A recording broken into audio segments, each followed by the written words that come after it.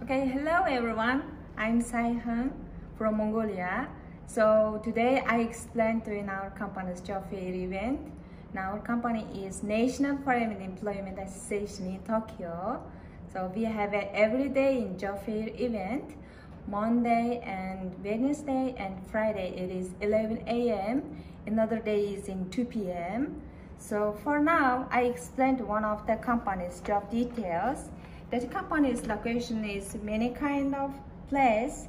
For example, in Tokyo, Kanagawa, Chiba, Saitama.